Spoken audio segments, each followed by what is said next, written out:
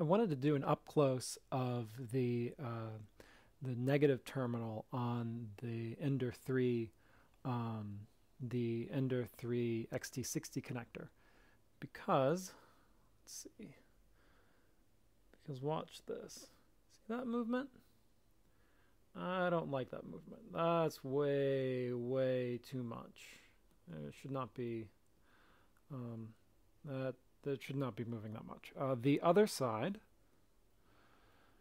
Um, the other side is steady. That's good. I would trust this. I mean, I don't like it. You know, it's not soldered, but um, but I trust it. And there are places where you want to use crimped instead of soldered. I mean, not that I've found one, but uh, so I hear from people who are electricians and know more than me. Um, but yeah, it's not. Uh, no, I don't like this. So um, I'm going to go ahead and uh, solder some wires to this and uh, show you what to do if you've got these and your, you know, maybe this is the only connector you have and it's not burned up yet. Uh, it's still, you know, it's, let's see. It still sounds good. Let's see. I'll, uh, yeah. Like, except for the fact that, um, like, except for this negative terminal, I like this connector. It's a good one. It, it's beefy. Um, but uh, yeah, so I'll go ahead and uh, prep uh, some uh, wires of solder to it, and uh, and I'll do a little bit of extra stuff, um, and then I don't know, I'll use this on the Ender or I'll use it on an airplane or something. I, am not entirely sure, but uh, it'll be prepped and ready to go.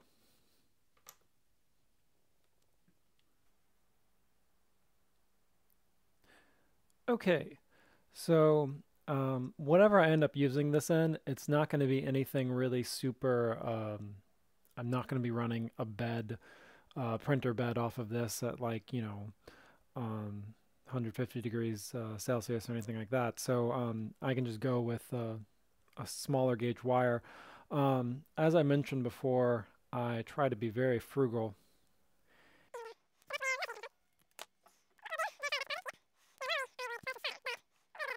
focus there. So I am filming with a Canon 60D uh, running Magic Lantern firmware and I have a Soviet um, lens on here. It's uh, a copy of uh, some American lens. Um, I actually need to get some UV lights and uh, remove some of the, uh, has a little bit of a yellow tinge, but you can't tell because of, you know, color correction. But here we go. Um, so I have the, uh, the female in connected. And right now I'm heating up this whole connector because it's there's a lot of metal there, so it takes a little while to heat up. And so you can see it's not even accepting any solder there. But so put some solder down here, and with that, it uh, it helps it heat it up more. There we go. Yeah, that's good. That's got it. So that is now filled with solder, and that is not, this wasn't the side that was messed up anyway, but it's not going anywhere. Um, if it's not a type of connector that I find useful, then I end up taking it apart and stealing the wires go.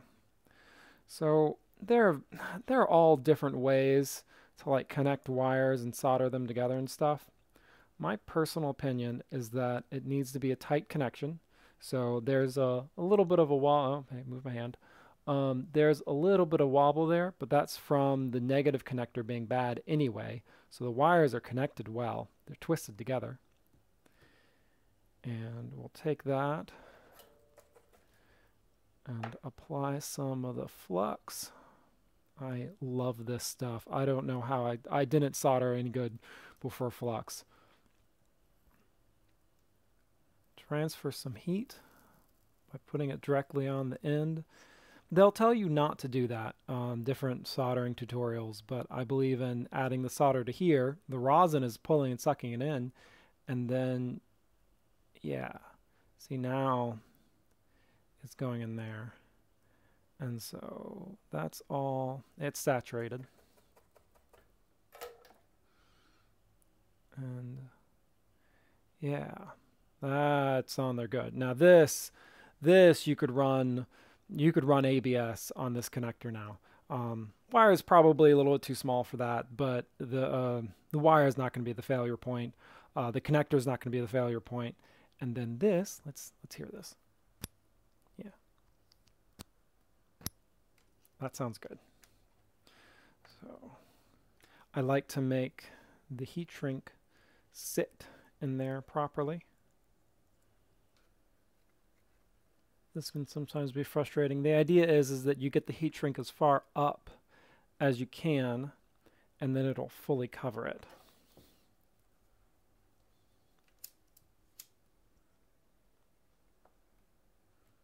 And then you don't keep the lighter still. It, burns it a little bit, but honestly it doesn't matter. There we go. And uh, you keep the female end on there or the male if you're soldering the other side. And that way the, um, the whatever this material is, it doesn't deform. But that's now a good connector. Trustworthy. Um, I mean, you could you could expand these prongs a little bit if you wanted to, which looks like that could be expanded a bit.